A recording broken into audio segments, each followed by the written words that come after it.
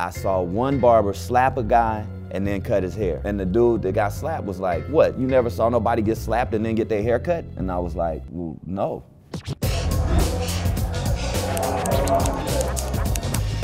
All right, my name is Kenny Warren. My name is Kevaan Walton. My name is Joshua Ross, aka Who is Joshua Ross? And today I'll answer Your most curious questions It's about being a barber. so that you can have some barbershop etiquette.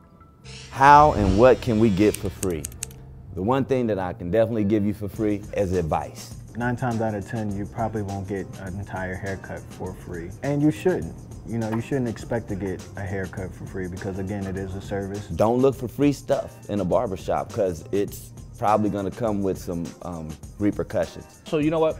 Birthdays, anniversaries. I might one day come in and or you might we might be having a conversation during the cut and I might feel, you know what, this one's on me today. If I see that your hesitation is because of a financial reason, but I know that it's gonna make the haircut, I may just do it because again, you are my walking billboard. You are my representation of my work when you step out of this chair. Should we ever pick a haircut from the chart? I mean, the best thing to do is to come in with a haircut that you already have like in your gallery, but make sure that it's as close to your hair type as possible. That chart might be a little outdated.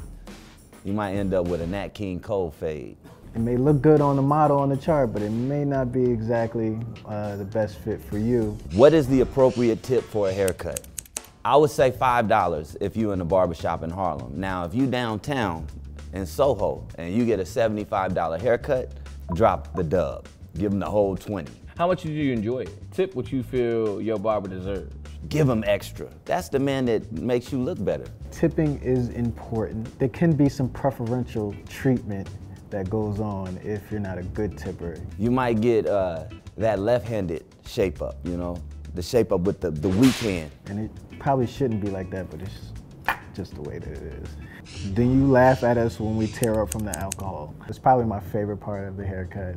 Grown men squirm from the alcohol when it hits their neck. Absolutely. And I like to, you know, finesse them a little bit, you know, be real, you know, nice and gentle at the end part, Probably the most vulnerable state that comes with getting a haircut. you know, and don't take off the cape first. I got a spray bottle. So I just, shh, shh, shh. it wakes them up, but it lets them know that they got a good haircut. If you don't have that burn, then the clippers didn't work. I used to laugh. However, if you spray alcohol on your hand and you don't have a cut, does it burn? If your answer is no, then what's that tell you about when you get hit with alcohol after a fresh haircut? Your barber cut you, which means you should probably choose a new barber. What are signs of a bad barber?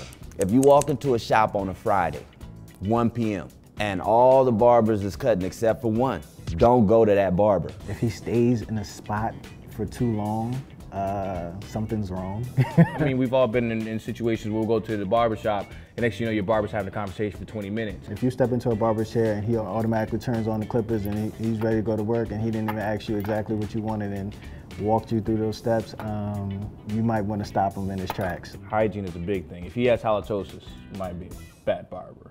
Have you ever given someone a bad haircut? Yes. Do we have to go into detail? We all start somewhere.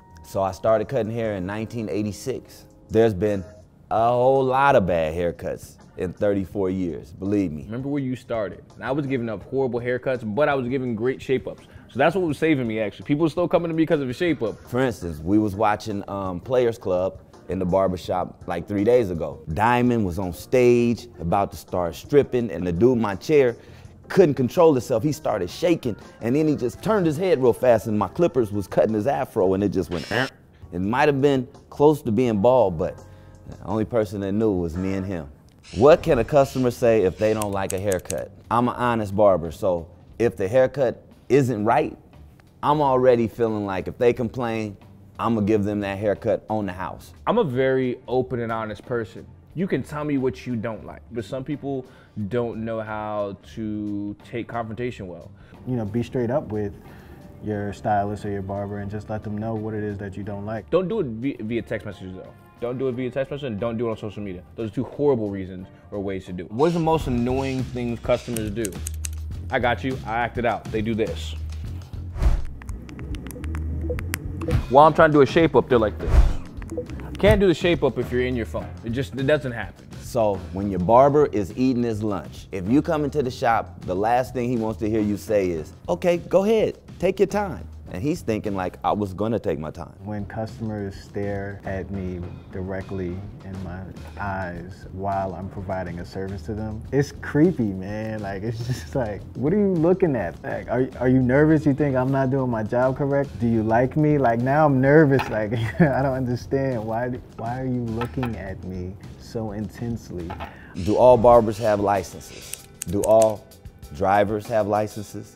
Of course not. The people that started in the barber school are usually the people that aren't cutting hair when you go to a shop on Friday at 1 p.m. You want to get somebody that came up through the, through the streets and you know got experience and then they got their license and then they became a professional. Can you tell when people cut their own hair? Yes, you know, the world was like shut down for like three months. When we opened back up, there was a lot of self-cuts and we could tell that you tried something and then let your hair grow a little bit. Because it's usually uh, somewhere in the back where it starts to look like an elevation map. That's when we know that that was a home cut. When you're in a mirror and you're moving your hand to the left, it looks like it's going right and that can be quite confusing. So I can definitely see when a hair is pushed back. It could be, you know, a football game, and instead of paying attention to the play, I'm like, who cut his hair? Like, why is his hairline like that? We're professionals for a reason, and this is, there's a reason why, you know, we went to school longer than cops went to training. But that's no other conversation. Who